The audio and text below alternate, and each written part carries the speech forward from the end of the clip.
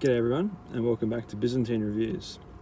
Today we've got a, uh, a little book about my namesake um, and that is 24 Hours in Ancient Rome by Philip Matyszak. Now this book here, it's a, a really nice little take on, on Rome and it's not talking about the big players in Rome, it'll talk about like everyday people which is really quite a nice fresh look. So typically when you think about a Roman story, you think, oh, you know, the legionaries going off and fighting in the war, or maybe you've got an emperor, you know, it's all stories about the big dogs, the emperors or the soldiers. Um, and this book really brings back uh, what everyday people would have gone through in Rome. Um, so let's take an example. So one of the first uh, stories is about a, a vigiles. Now, a vigiles is a sort of like a, a night watchman in, in Rome. So he's responsible for, you know, patrolling the streets. Now, there's no police force in Rome, but these are the sort of the closest thing to it, yet their responsibility isn't civil, you know, disobedience. It's just sort of keep an eye out.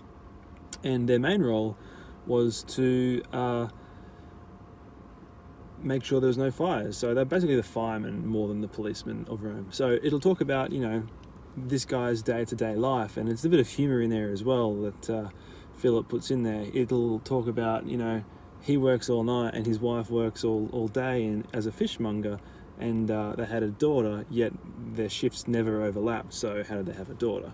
Um, little funny things like that make this book really quite enjoyable, and um, it's got a really nice flow to it. So you might talk about, you know, this Vigiles bloke, and then it'll hop on. Um, and I think after that story, it'll talk about a baker. So at the end of the Vigiles shift of duty, as the dawn is breaking and his night shift is done, um, he goes up to uh, the bakery and uh, he crosses path with a with a servant um, running some some bread around, and uh, then it talks about uh, maybe the servant, or it talks about the baker, and then talks about all of their day, and then that might flow on to um, the master who eats that bread. And uh, it's really got a nice sort of flow through Roman life, and it goes through this way through the vast majority of um, livelihoods in Rome. So it talks, you know, from people like this Vigile, or you might talk about a prostitute, and then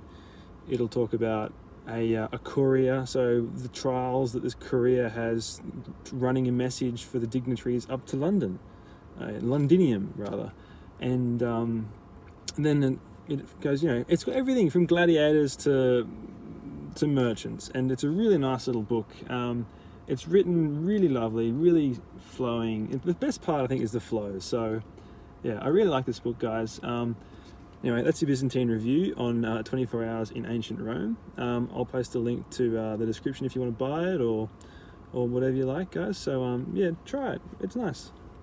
See you later, guys. Enjoy.